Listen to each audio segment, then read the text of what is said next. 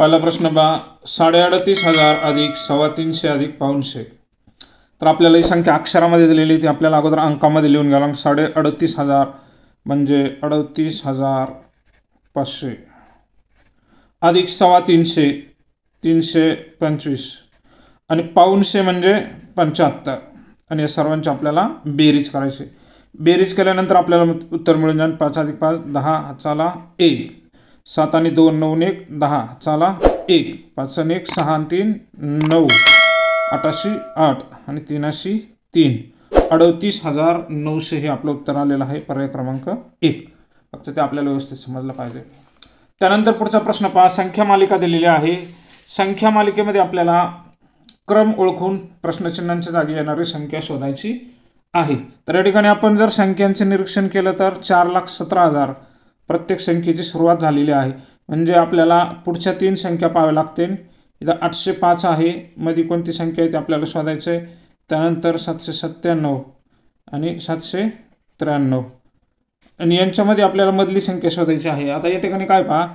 या दोन संख्यांचा जर आपण विचार केला तर यांच्यामध्ये प्लस चारचा फरक आहे. म्हणजे त्र्याण्णवमध्ये चार मिळवले सत्त्याण्णव.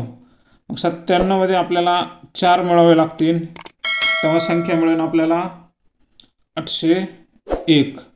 कारण याच्यामध्ये फरक जर व्हायला तर तो सुद्धा चारचा येतो आहे मग आपली संख्या तयार झाली चार लाख सतरा हजार आठशे एक. म्हणजे पा पर चार लाख सतरा हजार आठशे एक. म्हणजे पर्याय क्रमांक चार हे त्याचं उत्तर आहे. पुढील प्रश्न पहा. एका संख्येचा तिसरा भाग तेहतीस आहे तर ती संख्या कोणती? समजा आपल्याला ती संख्या माहीत नाही. त्या संख्येचा तिसरा हिस्सा म्हणजे तीनने भागावा लागेल. तो तेहतीस आहे. तर ती संख्या कोणती? आपल्याला ही संख्या शोधावी लागेल. म्हणजे कोणत्या संख्येला तीनने भागले उत्तर तेहतीस येते? म्हणजे याचं उत्तर काढायचे येते का या दोघांचा गुणाकार करायचा. म्हणजे तेहतीस गुणले तीन. तर त्याचा जर गुणाकार केला तर तो येतं नव्याण्णव. मग ती संख्या नव्याण्णव आहे. म्हणजे नव्याण्णवचा तिसरा भाग तेहतीस या पद्धतीने. पुढील प्रश्न. पुढचा प्रश्न पहा. दोन समांतर रेषा परस्परांना तर या ठिकाणी आपल्याला दोन समांतर रेषा आपण जर दोन समांतर रेषा काढल्या तर आपल्याला लक्षात येईल की या दोन समांतर रेषा आपण पुढे किती वाढवल्या तरी त्या एकमेकांना कधीही छेदत नाहीत पर्याय क्रमांक तीन आहे. कारण बाण सांगतो आपल्याला पुढे किती वाढवलं तर आपल्याला त्या दोन रेषा एकमेकांना स्पर्श करणार नाहीत. त्यानंतर पुढचा प्रश्न पाहते सहा क्रमांकाचा. कोजागरी पौर्णिमेसाठी पाचशे मिलीलिटरच्या बारा पिशव्या दूध आणले तर एकूण किती लिटर दूध आणले? तर खूप सोपा प्रश्न आहे. पाचशे मिलीलिटर दूध आहे आणि बारा पिशव्या आहेत. आणि हा जर गुणाकार केला आपण बारा पंचे साठ. आणि वर्ष दोन शून्य म्हणजे सहा हजार मिली दूध आहे. आता सहा हजार मिली. आता एक मिलीमध्ये तुम्हाला माहिती आहे एक हजार सॉरी एक लिटरमध्ये एक हजार मिलीलिटर असतात. मग आपल्याला सहा हजार मिलीचं जर रूपांतर करायचं असेल तर सहा हजारला आपल्याला हजारने भागावं लागेल. आपण तीन शून्य कमी केले तीन शून्य कमी केले एकने सहा लावायला सहा उत्तर येते. म्हणजे सहा लिटर दूध आहे पर्याय क्रमांक तीन. पुढचा प्रश्न पहा. दशादशी पहा. सर्व सरळ व्याजावर आधारित आहे. मुद्दल दिलेला आहे पाचशे रुपये मुद्दलाचे. दशादशी आठ दराने तीन वर्षाचं सरळ व्याज किती? हा सुद्धा खूप सोपा प्रश्न आहे. याचं उत्तर शोधण्यासाठी आपल्याला जे सूत्र आहे म गुणुले द गुणुले क हे सरळ व्याज काढण्याचं सूत्र आहे. त्याला छेद शंभर. म्हणजे या ठिकाणी आपण जर किमती टाकल्या मुद्दल जे आहे आपले पाचशे रुपये आणि दर आहे दसा दशे आठ आणि कालावधी आहे तीन. छेद आहे त्याला शंभर. आता शंभरने याला भागायचं वरच्या संख्येला म्हणजे दोन शून्य कमी करा हे दोन शून्य कमी करा. आता ज्या संख्या शिल्लक राहिलेल्या आहेत त्या सर्वांचा गुणाकार करायचा. इथं पाच शिल्लक राहिला या ठिकाणी आठ आहे आणि तीन. यांचा जर गुणाकार केला आठा पंचे चाळीस आणि चाळीस गुणिले तीन म्हणजे चार त्रिक बारा आणि एक शून्य म्हणजे एकशे वीस रुपये. तर एकशे वीस रुपये त्याचं सरळ व्याज आलेलं आहे या पद्धतीने तुम्ही ते उदाहरण सोडवायचं आहे. त्यानंतर पुढचा प्रश्न बा नफा तोटा या घटकावरचा आहे. विक्री किंमत खरेदी किमतीपेक्षा कमी असल्यास नफा होतो. म्हणजे योग्य विधान आपल्याला ओळखायचं हे सर्व पर्याय वाचावे लागतील. विक्री किंमत खरेदी किमतीपेक्षा कमी असल्यास नफा होतो. पहा विक्री किंमत खरेदी किमतीपेक्षा कमी असल्यास तोटा होत असतो. नफा म्हणजे हे विधान चुकीचं आहे. खरेदी किंमत विक्री किमतीपेक्षा कमी असल्यास खरेदी किंमत विक्री किमतीपेक्षा कमी असल्यास तोटा होतो. तर तोटा न होता इथं नफा होतो. त्यामुळे हे सुद्धा विधान चुकीचं आहे. तिसरं उदाहरण विधान पहा. खरेदी किंमत विक्री किमतीपेक्षा जास्त असल्यास नफा होतो. हे सुद्धा विधान चुकीचं आहे. विक्री किंमत खरेदी किमतीपेक्षा जास्त असल्यास नफा होतो. हे विधान बरोबर आहे. पर्याय क्रमांक चार हे त्याचं उत्तर आहे. पुढील प्रश्न. पुढचा प्रश्न पहा. रोमन संख्या चिन्हांवर आधारित आहे. रोमन संख्या चिन्हानुसार आपल्याला एक पदावली दिलेली आहे. ती सोडवायची आणि त्याचं उत्तर शोधायचं तर या ठिकाणी पहा. एक्स व्ही आय आय म्हणजे ही दहा अधिक सात जे सतरा आहे. आपल्या इथं मांडून घेऊ. सतरा पुढं अधिक आय एक्स म्हणजे नऊ. वजा आय व्ही म्हणजे चार. अधिक सी सी सीची किंमत आहे शंभर. आपल्याला ही पदावली आता सोडवायची आहे. आता याच्यामध्ये आपल्याला अगोदर बेरीज करावं लागेल. सतरा अधिक नऊ आपण जर केले तर त्याचं जे उत्तर आहे सतरा अधिक नऊ ते होतात सव्वीस. आणि वजा चार अधिक शंभर. म्हणजे सव्वीसमधून पुन्हा तुम्हाला चार कमी करायचे म्हणजे ते होतात बावीस अधिक शंभर. आणि यांची जर बेरीज केलं तर तिथे एकशे बावीस म्हणजे पर्याय क्रमांक दोन हे त्याचं उत्तर आहे. या पद्धतीने तुम्ही उदाहरण सोडवायचा आहे. पुढचा प्रश्न पहा. चोवीस ताशी घड्याळाप्रमाणे क्रिकेटचा सामना दहा वाजता सुरू झाला आणि तो पंधरा पंचेचाळीस वाजता संपला. तर बारा ताशी घड्याळाप्रमाणे किती वाजता संपला? असा तो सोपा प्रश्न आहे. तर पंधरा पंचेचाळीसला सामना संपलेला आहे. म्हणजे बारा तासाच्या घड्याळाची जर वेळ काढायची तर आपल्याला त्यातून बारा कमी करायचे. आणि बारा कमी केले तर आपल्याला पंचेचाळीसमधून शून्य गेले पंचेचाळीस राहिले बारा पंधरामधून बारा गेले. तीन राहिले. म्हणजे तीन वाजून पंचेचाळीस मिनिटांनी तो सामना संपलेला आहे. थोडक्यात काय बाराच्या पुढं जर आपण मोजलं तेरा म्हणजे एक वाजले चौदा म्हणजे दोन वाजले आणि पंधरा म्हणजे तीन वाजले या पद्धतीने तुम्ही उत्तर शोधू शकता. पुढचा प्रश्न पाच शेकडेवारी वरात आहे. एका जंगलात बाबळीची पंधरा टक्के सागाची पंचेचाळीस टक्के आणि पळसाची वीस टक्के झाडं आहेत. उरलेली झाडं जांभळाची आहेत आणि एकूण झाडांची संख्या दिलेली पाच हजार तर जांभळांची झाडं किती? तर हा सुद्धा खूप सोपा प्रश्न आहे. याची उत्तर काढण्याची पद्धती सांगतो तुम्हाला. आपल्याला जी झाडांची संख्यांची टक्केवारी दिलेली त्यांच्या अगोदर बेरीज करून घ्यायची. पंधरा अधिक पंचेचाळीस अधिक वीस. यांची जर बेरीज केली तर ती बेरीज होते आता ही चाळीस आणि चाळीस अधिक वीस साठ. साठ अधिक पाच पासष्ट. पासष्ट अधिक पाच सत्तर अधिक दहा ऐंशी. आता उरलेली जी संख्या आहे ऐंशी टक्के एकूण झाडांची बेरज होती. उरलेली जी टक्केवारी आहे ती वीस टक्के आहे. वीस टक्के झाडे राहिलेली जांभळाची आहेत. आता वीस टक्के झाडं जांभळाची आहेत तर आपल्याला संख्या दिलेली आहे पाच हजार. मग पाच हजारचे आपल्याला वीस टक्के शोधायचे आहेत. वीस टक्के म्हणजे वीस अंशे शंभर आणि याची टक्केवारी काढायची आहे. तर या ठिकाणी आता काय करायचं? आहे हे जे शून्य आहेत खालचे दोन कमी करून घ्या आणि वरचे दोन शून्य कमी करून घ्या आणि राहिलेल्या संख्यांचा गुणाकार करा. पन्नास आणि वीस राहिलेले आहेत. आता इथं पाच गुणे दहा. आणि हे दोन शून्य म्हणजे उत्तर येतं आहे. एक हजार. तर जांभळाच्या झाडाची संख्या आपल्याला मिळालेली आहे. एक हजार. या पद्धतीने तुम्ही उदाहरण सोडवायचं. आहे असा प्रश्न प्रत्येक वर्षी परीक्षेत विचारला जातो. त्यानंतर पुढचा प्रश्न पहा. सहा तास बावन्न मिनिटे बरोबर किती मिनिटे? आपल्याला तासाचं रूपांतर आता मिनिटामध्ये करावं लागेल. तुम्हाला माहिती आहे एक तास बरोबर साठ मिनिटे. त्याच्यावरून तुम्ही सहा तासाचं रूपांतर मिनिटामध्ये करू शकता. सहाला आपल्याला साठने गुणावं लागेल. म्हणजे साय साय छत्तीस म्हणजे तीनशे साठ मिनिटे. अधिक पुन्हा बावन्न मिनिटे दिलेली आहेत. पुढे त्यांची बेरीज करा. म्हणजे तीनशे साठ अधिक बावन्न आपण जर एकत्र केले तर त्यांची बेरीज होते चारशे बारा मिनिटे. म्हणजे आपलं जे उत्तर आलेलं आहे चारशे बारा मिनिटे पर्याय क्रमांक एक. या पद्धतीने उदाहरण सोडवायचं आहे. पुढचा प्रश्न पहा तो सुद्धा शेकडेवारी घटकावर आधारित आहे. शंभरचा शेकडा वीस. आता शंभरचा शेकडा वीस. शेकडा वीस म्हणजे वीस अंशेत शंभर.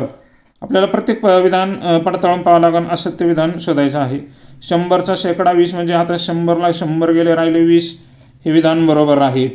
त्यानंतर दोनशेचा शेकडा दहा. आता दोनशेचा शेकडा दहा म्हणजे त्याला दहा अंशेत शंभर करावं लागेल. हे दोन शून्य गेले हे दोन शून्य गेले. आता राहिले दहा आणि दोन म्हणजे यांचा गुणाकार केला तर वीस येतं हे सुद्धा विधान बरोबर आहे.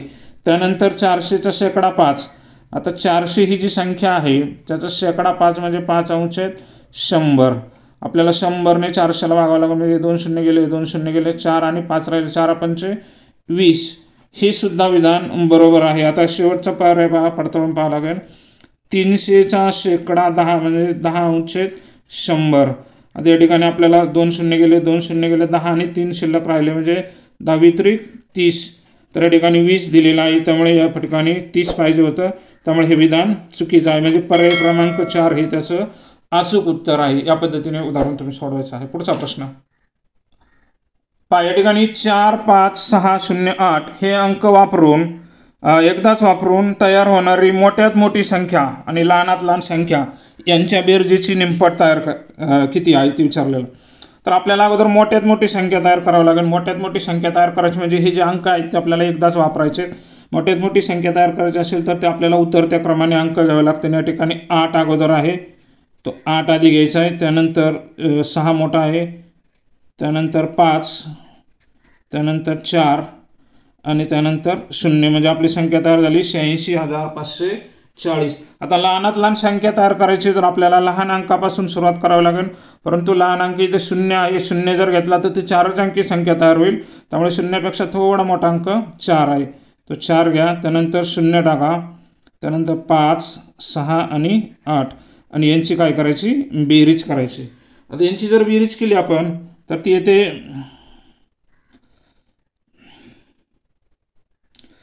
आठाशे आठ सहा चार दहा चाला एक पाच पाच दहा आणि एक अकरा चाला एक सहा एक सात आणि आठ चार बारा.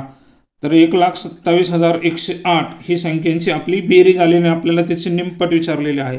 म्हणजे एक लाख सत्तावीस हजार एकशे आठ हे जे आपलं उत्तर आलेलं आहे हा पर्याय पण दिलेला आहे. बरेच विद्यार्थी हाच पर्याय निवडतील आणि उत्तर शोधतील तर ते उत्तर चुकीचं ठरू शकतं. तर आपल्याला त्याची निमपट विचारलेली आहे म्हणजे त्याला आपल्याला दोनने भागावं लागेल. त्याची निमपट आपल्याला मिळून जाईल.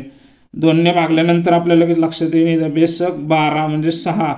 सहा आलेला आहे म्हणजे सुरुवातीला इथं सहा अंक इथं आहे त्यामुळे पूर्ण संख्येला भाग देण्याची गरज नाही. त्रेसष्ट हजार पाचशे चोपन्न हे त्याचं उत्तर आहे. तुम्ही याला पूर्ण भाग दिल्यानंतर हे तुम्हाला उत्तर मिळून जाईल. कारण सा दोनने आपण इथं भाग द्यायला सुरुवात केली तर सहा अंक सुरुवातीला येतो आहे त्यामुळे या पर्यायामध्ये सहा अंक एक एकाच ठिकाणी आहे त्यामुळे हे त्याचं उत्तर आहे. त्यानंतर पुढचा प्रश्न पहा. जर पी बरोबर तीन आणि टी बरोबर दोन असेल तर याच्यामध्ये आपल्याला किमती टाकून त्याचं उत्तर शोधायचं आहे. पहा.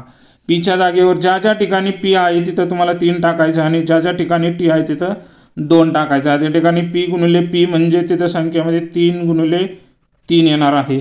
त्यानंतर अधिक आहे. दोन तसेच. पुन्हा गुणिले पी म्हणजे तीन येईल गुणिले टी टी म्हणजे टीची किंमत दोन आहे.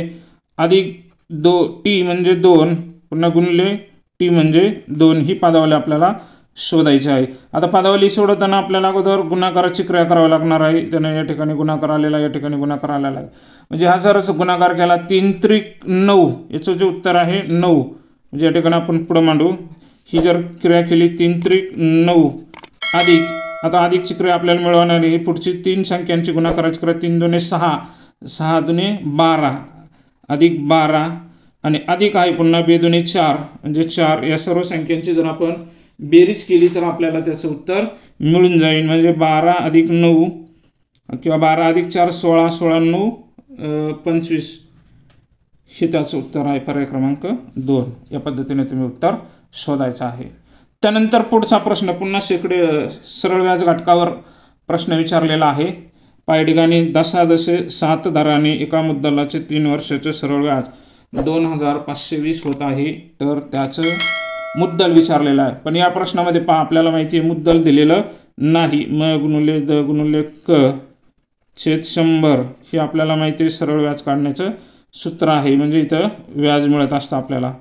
या सूत्राचा वापर करून. म्हणजे या सूत्रात जर आपण किमती टाकल्या मग मुद्दल आपल्याला दिलेलं नाही. मुद्दल आपण तसेच ठेवू. दर आहे सात आणि कालावधी आहे तीन आणि छेद शंभर आणि व्याज आपल्याला दिलेलं आहे दोन हजार पाचशे वीस. आता ही क्रिया आपल्याला करून घ्यायची आहे. तर ठिकाणी आपल्याला मची किंमत शोधायची आहे. म्हणजे मची किंमत जर काढायची असेल तर आपल्याला इथं छेदस्थानी असलेल्या संख्या इकडं न्यायच्या गुणाकाराच्या रूपात होतील आणि वरती गुणलेल्या संख्या छेदस्थानी जातील. म्हणजे इथं दोन हजार पाचशे वीस तसेच जागेवर राहतील आणि त्याला गुणलेले शंभर आणि सात आणि तीन हे छेदस्थानी येतील इकडं. आता ही क्रिया आपल्याला सोडून घ्यायची आहे. आता या ठिकाणी पहा आपण शंभरला आणि सात सात आणि तीनने वरच्या संख्येला भाग जातो का ते पाहावं लागेल. आपल्याला सातने दोन हजार पाचशे वीसला भाग देऊ आपण. सात एक सात सात दोन चौदा सात त्रिक एकवीस तीन एकवीस पुन्हा चार राहिले सात सक्कुम बेचाळीस आणि तीनशे साठ. म्हणजे सातने याला संख्येला तीनशे भाग दिल्यानंतर तीनशे साठ उत्तर येते आता तीनशे साठला आपल्याला पुन्हा तीनने भाग द्यावा लागेल. तीनने जर आपण छत्तीसला भाग दिला तर आपल्याला माहिती आहे बार दुने चो बा चोवीस बार त्रिक छत्तीस. म्हणजे याचे जे उत्तर आहे ते एकशे वीस येतं आहे आणि हे शिल्लक राहिलेले शंभर. म्हणजे एकशे वीस आणि शंभर यांचा जर आपण गुणाकार केला तर तो येतं बारा हजार. म्हणजे मुद्दल आपल्याला मिळालेला आहे बारा हजार पर्याय क्रमांक चार हे त्याचं उत्तर आहे.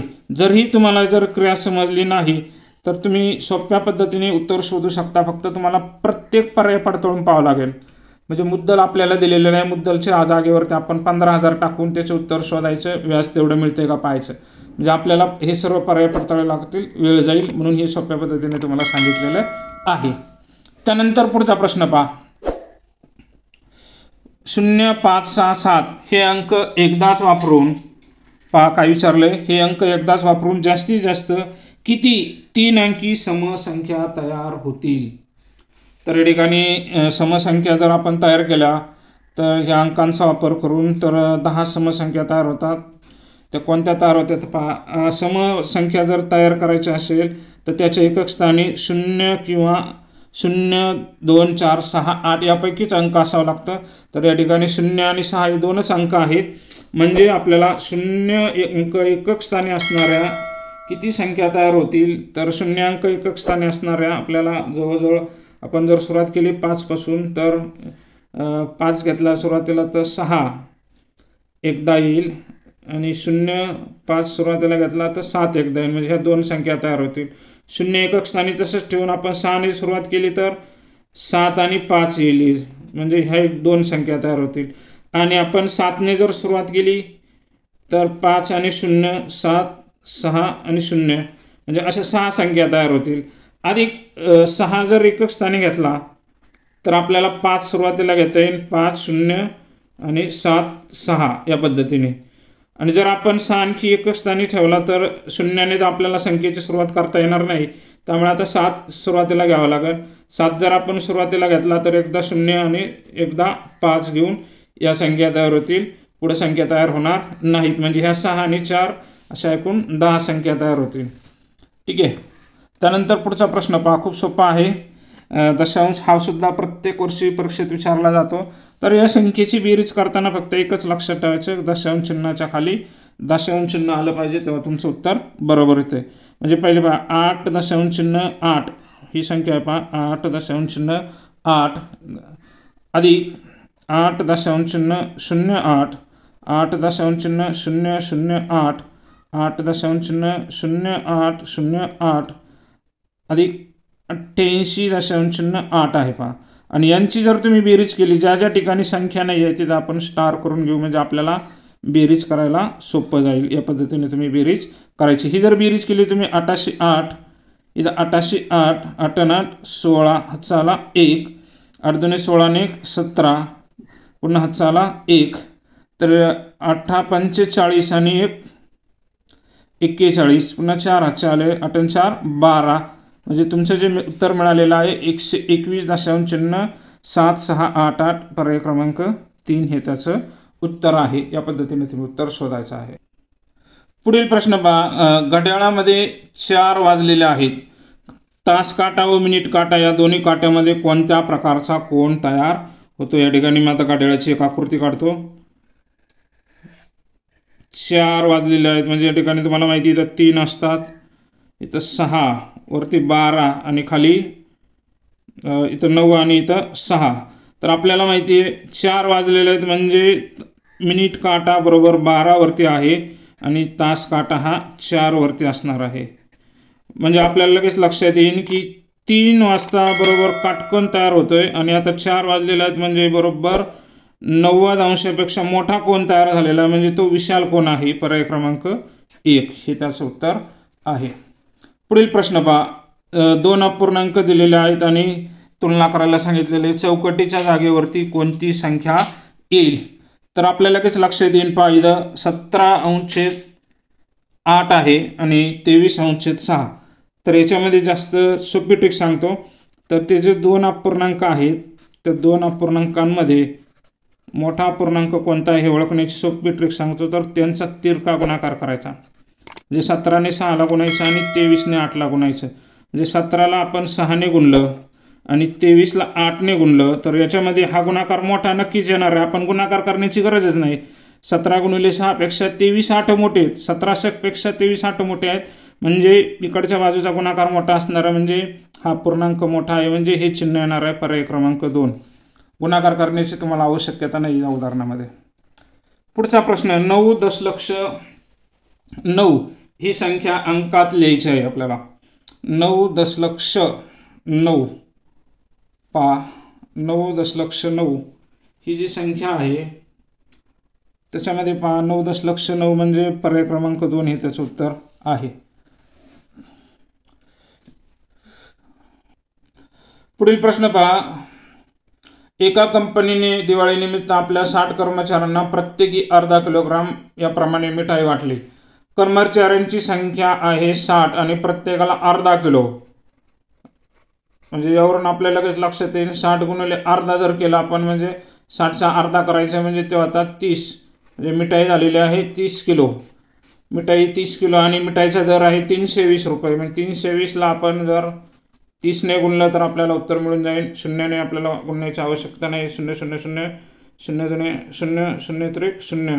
त्यानंतर तीन शून्य शून्य तीन दोने सहा चाला हातचा नाही येतं तीन दोने सहा तीन त्रिक नऊ आपलं जे उत्तर आलेलं आहे नऊ हजार सहाशे रुपये. म्हणजे मिठाईचा खर्च आपल्याला मिळालेला आहे पर्याय क्रमांक तीन. त्यानंतर पुढचा प्रश्न आहे. नऊ हजार नऊशेचे नऊ टक्के किती? आता नऊ हजार नऊशे ही संख्या आपण लिहू. त्याचे नऊ टक्के. नऊ टक्के म्हणजे नऊ अंशेत शंभर. म्हणजे नऊ हजार नऊशे तसेच ठेवू. नऊ टक्के म्हणजे नऊशे शंभर. आपल्याला काय करायचं आता? शंभरने याला बागायचं वरच्या संख्येला. खालचे दोन शून्य कमी करायचे दोन शून्य कमी करा. खाली एक राहिलेला आहे. आता राहिलेल्या संख्यांचा गुणाकार करायचा. नव्याण्णव गुणुले नऊ म्हणजे ह्यांचा गुणाकार केला आपण. नव्याण्णव गुणुले नऊ. नव्याण्णव एक्क्याऐंशी चाले आठ. नव्याण्णव एक्क्याऐंशी अधिक आठ एकोणनव्वद म्हणजे आपलं उत्तर आलं आठशे एक्क्याण्णव. पर्याय क्रमांक एक. पुढील प्रश्न. पुढील प्रश्न पहा. खाली दिलेल्या आकृतीची परिमिती किती आता परिमिती दिलेली आकृती खूप सोपी आहे. तर आकृतीच्या सर्व बाजूच्या लांबीची बेरीज करायची आपल्याला या ठिकाणी पहा. दोन अधिक चार सहा. सहा अधिक दोन आठ. आठ अधिक तीन अकरा. अकरा अधिक तीन चौदा. म्हणजे चौदा दशांशचिन्ह पाच आहे. म्हणजे चौदा पॉईंट पाच. हे त्याचं उत्तर आहे परिमिती. पुढचा प्रश्न पहा. एकोणपन्नास. चौकटी दिलेल्या आहेत आणि संख्या कोणती ते माहीत नाही. समान अंक आहे चौकटीच्या जागी आणि उत्तर दिलेलं आहे. तर ती संख्या शोधायची आहे. म्हणजे या ठिकाणी तुमच्या लक्षात येईल की इथं दोन्ही संख्या समान आहेत. म्हणजे कोणत्या संख्येचा वर्ग एवढा येतो आपल्याला ते शोधायचं. एकशे बत्तीस आहे. म्हणजे आपल्या लगेच लक्षात येईल एकशे बत्तीस हा एकशे पंधरा या संख्येचा वर्ग आहे. एकशे पंधरा गुणिले एकशे पंधरा आपण जर केलं तर तो ते एक हजार तेरा हजार दोनशे पंचवीस येतं उत्तर येतं आहे म्हणजे चौकटीच्या जागेवरती एक एक असणार आहे पर्याय क्रमांक चार हे त्याचं उत्तर आहे. त्यानंतर शे शेवटचा प्रश्न पाहूया. उरलेले प्रश्न आपण पुढच्या मागामध्ये घेणार आहोत. पा प्रश्नामध्ये काय दिलेलं आहे की चार लाख पंचेचाळीस हजार पस्तीस या संख्येतील दस हजार स्थानी असलेल्या अंकाची स्थानिक किंमत. आता दस हजार स्थानी दस हजार स्थानी संख्या आहे चार. आणि त्याची स्थानिक किंमत जर आपण विचारात घेतली तर ती होते चाळीस हजार. त्यानंतर पुढे पहा. व दशक स्थानी असलेल्या अंकाची स्थानिक किंमत. आता दशक स्थानी तीन अंक आहे तीनची स्थानिक किंमत ती होते तीस.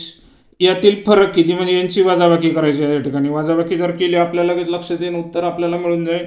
शून्यशे शून्य तीन सात पुन्हा इथं नऊ पुन्हा नऊ.